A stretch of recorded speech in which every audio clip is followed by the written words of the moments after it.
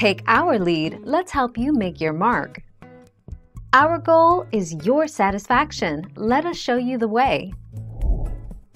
Usually the size is written on the tire sidewall, for example it might read 26 by 2.2, a typical mountain bike size.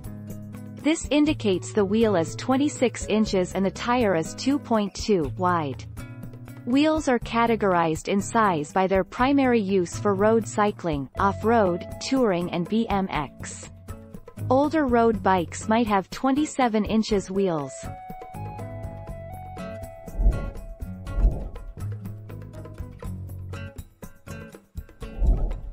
Take our lead.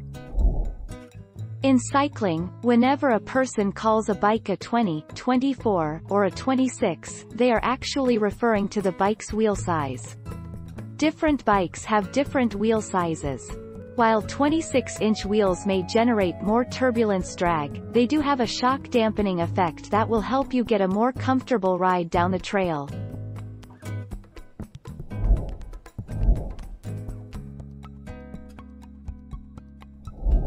Make your mark, take our lead.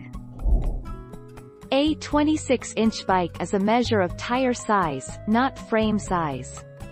Some 26-inch tire size bikes come in various frame sizes, some small incremental increases, some just have a few basic sizes.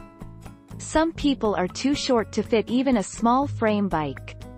A Terry bike is a good compromise, with a smaller wheel in front.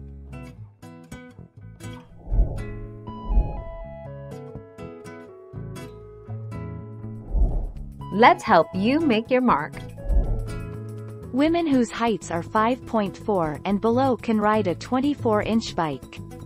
This is because the frame is the right height to accommodate the length of their legs and will ensure they find it easy to pedal. If your feet touch the ground when standing over the frame, then you can ride it.